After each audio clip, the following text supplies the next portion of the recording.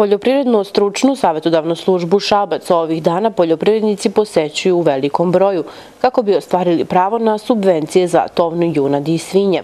Stočari su u prethodnom periodu redovno dolazili u službu, ali se pred istek roka gužve povećavaju. Ovaj korak ministarstva pokazao se dobro za poljoprivrednike u ovom momentu.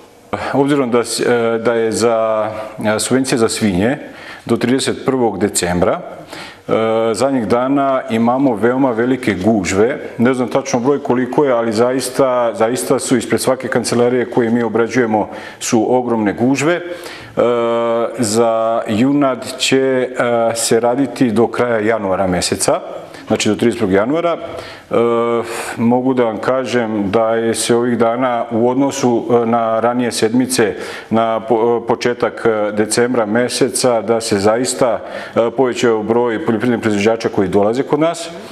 Pa znači im puno, zaista, znači im puno. Naravno, polako se ulazi u, ajde kažem, u normalne tokove. Zašto to kažem? Pretpostavljam da su Eh, teško mi je da prevalim preko usta, da kažem, ljudi koji nisu klaničari otkupljivali otkupljivali stoku i išlo je, eh, eh, to samo oni znaju gde, Sad već polako država ulazi kao jedan ozbiljan i pravi igrač u celoj ovoj priči, tako da poljoprivredni proizvođači su zadovoljni i mislim da će ovakve uredbe, ako potraju, naravno imati e, veoma veliki odjek kod poljoprivrednih proizvođača.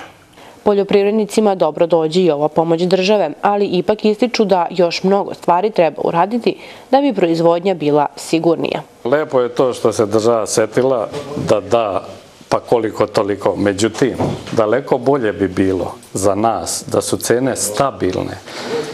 I Prije dva meseca cena je bila svinjama 250 dinara, a sada je 170. Šta smo mi dobili tu? Znači, bolje bi bilo da je stabilna cena, da znamo unaprijed kad stavimo svinje u to, pošto ćemo prodati.